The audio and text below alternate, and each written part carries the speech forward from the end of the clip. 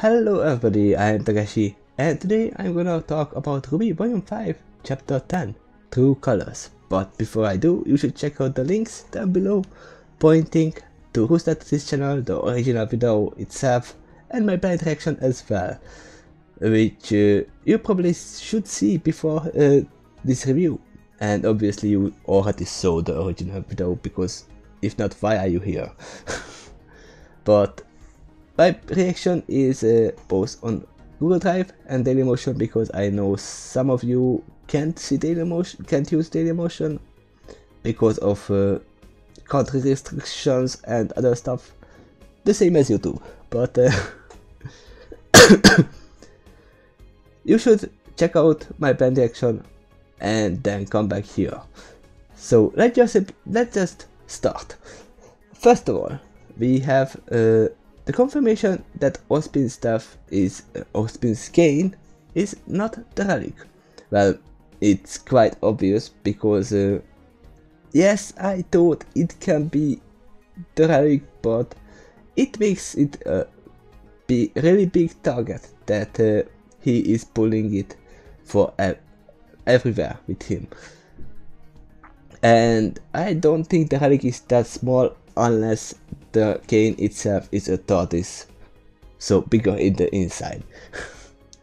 but uh, nope, that is not the case, and we only seen one thing that the cane can do. It can retract and expand.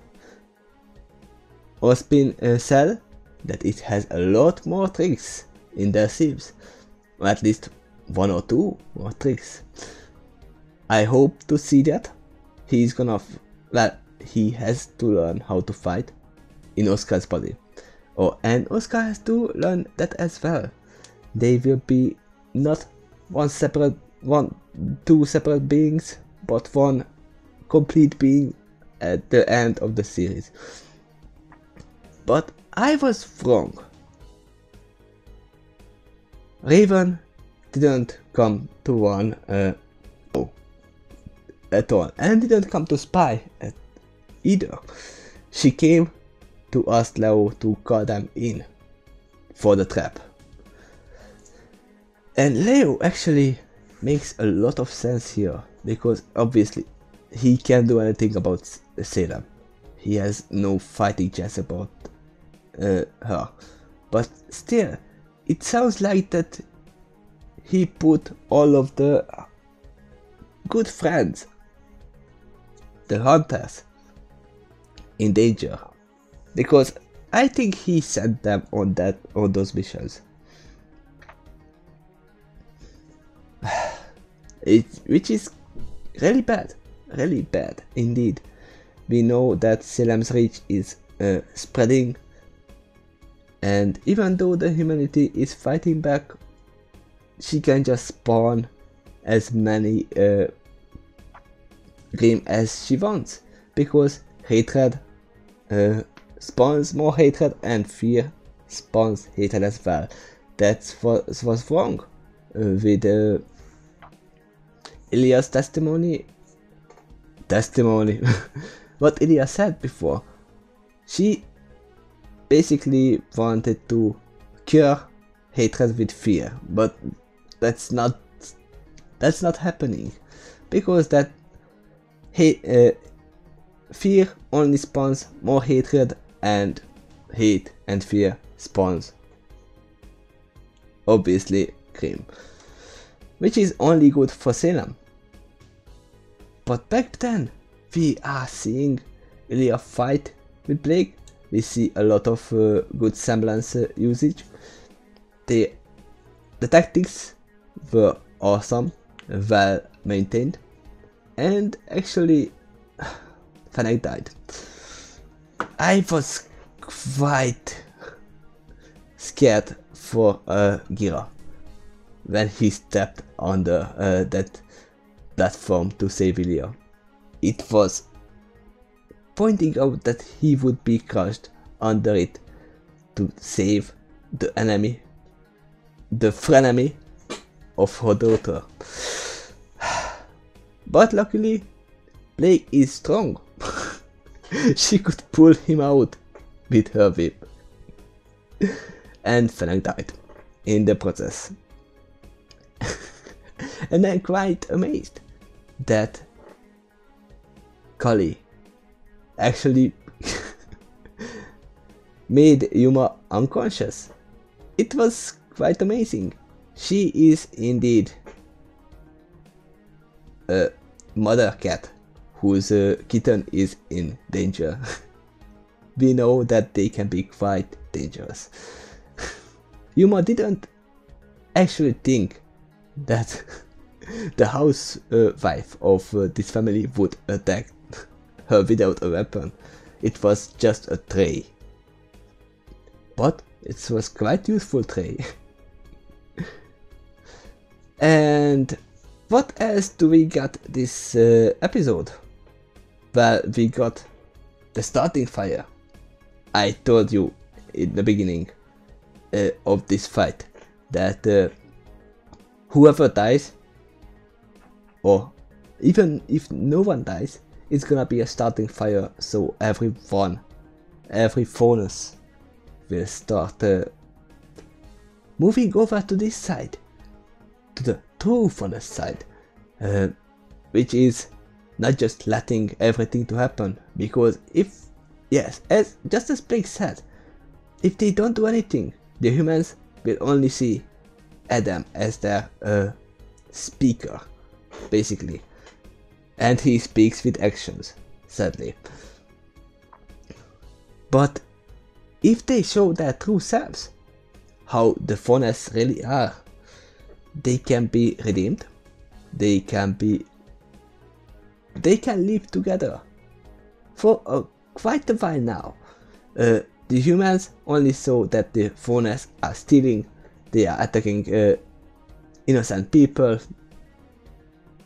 derailing cargo ships, trains, uh, dust, everything. Basically, they only see so bad things about them, so it's kinda obvious that they uh, make fun and bully uh, the other Faunus, the minority who are uh, basically going near the humans because they cannot reach the majority, as, at least as they say, the the ones that they attack, that they are bad, are the majority, but in reality, it's not that how it is. I'm pretty sure that there are a lot more here than in the White Fang. There are a lot more uh, people that wanted to just live happily, peacefully, uh, without being bothered by the humans.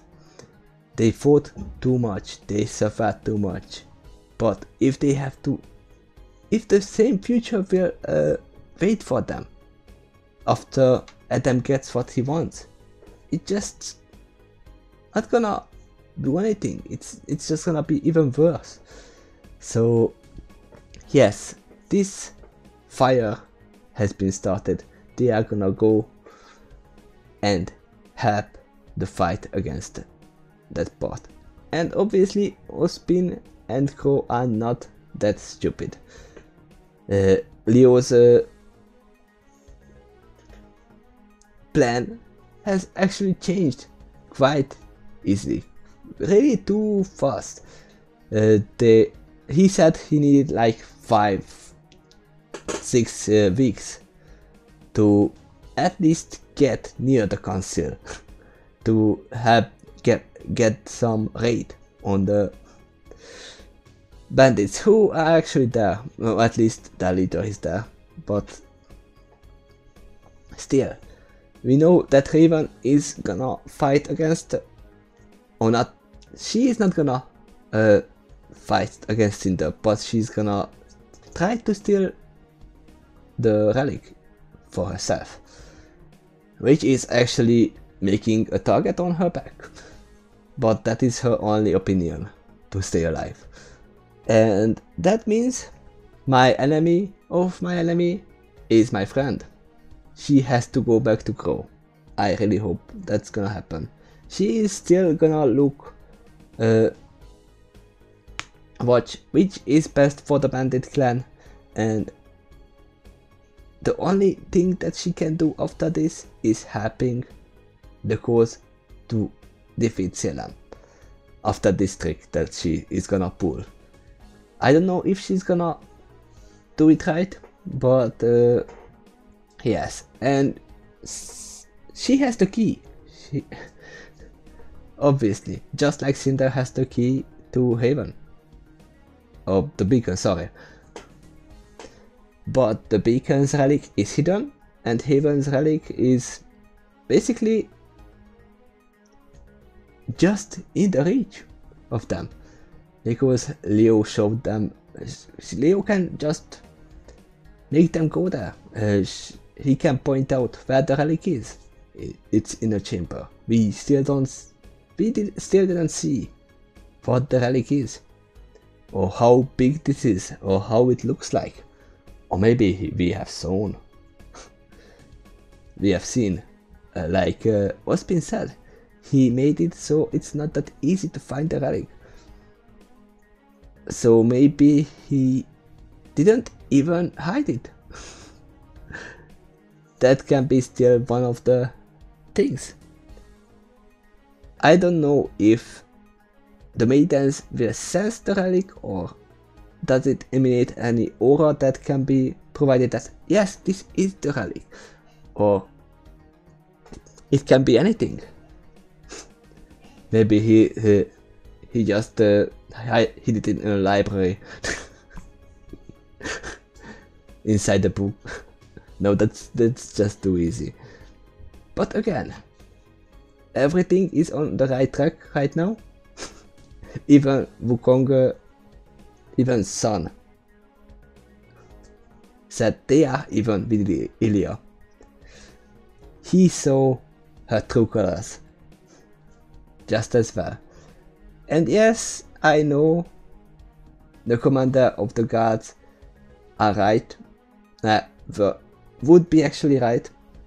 It's dangerous to trust someone who openly attacked the family and made the trap herself.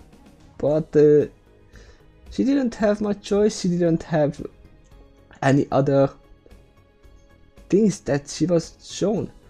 Only uh, showed her one way to save the humans, which, as we saw, it's not something that the Faunus would actually do unless they are they had a little push. And I'm quite uh, surprised that we still haven't spoken about uh, Ruby's eyes that is something we still have to uh, conquer basically. Then uh, what's been said that they are gonna train? I didn't actually think it was only hand-to-hand -hand combat for Ruby. Because without her weapon she has another weapon as well. Her eyes her eye powers. Uh, I don't know what it is but she seriously damaged the Cinder. She forced the dragon